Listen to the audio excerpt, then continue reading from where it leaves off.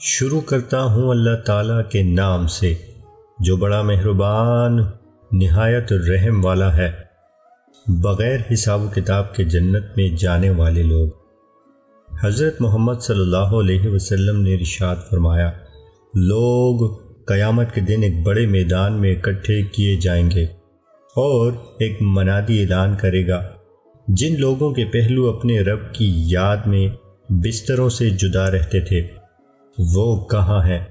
وہ اٹھ کر کھڑے ہو جائیں گے، جن کی تعداد بہت کم ہوگی، اور وہ جنت میں بغیر حساب و کتاب کے داخل ہو جائیں گے۔ پھر باقی بچ جانے والے لوگوں کے حساب و کتاب کا حکم جاری کر دیا جائے گا۔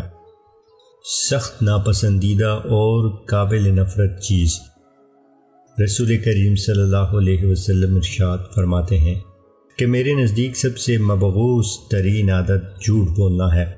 اور جب کوئی آدمی رسول اللہ صلی اللہ علیہ وسلم کے سامنے جھوٹ بولتا تو آپ صلی اللہ علیہ وسلم اس سے ناراض ہو جاتے۔ جب تک آپ صلی اللہ علیہ وسلم کو یہ پتہ نہ چل جاتا کہ اس نے جھوٹ سے توبہ کر لی ہے۔ آسمان کی طرف سر اٹھا کر استغفار کیجیے اللہ مسکرا کر معاف کر دیں گے۔ حضرت علی بن ربیہ رحمۃ اللہ علیہ کہتے ہیں کہ مجھے حضرت علی رضی اللہ عنہ نے اپنے پیچھے بٹھایا ہیرا کی طرف لے گئے۔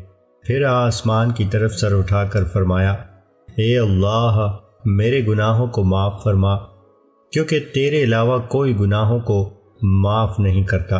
پھر میری طرف متوجہ ہو کر مسکرانے لگے۔ میں نے کہا، اے امیر المومنین پہلے آپ نے اپنے رب سے استغفار کیا۔ پھر میری طرف متوجہ ہو کر مسکرانے لگے، یہ کیا بات ہے؟ انہوں نے فرمایا، رسول اللہ صلی اللہ علیہ وسلم نے ایک دن مجھے اپنے پیچھے بٹھایا تھا۔ پھر مجھے ہیرا کی طرف لے گئے تھے۔ پھر آسمان کی طرف سر اٹھا کر استغفار کیا اور فرمایا کہ، یا اللہ، میرے گناہ معاف فرما۔ میں نے بھی نبی صلی اللہ علیہ وسلم سے وہی پوچھا جو آپ نے مجھ سے پوچھا۔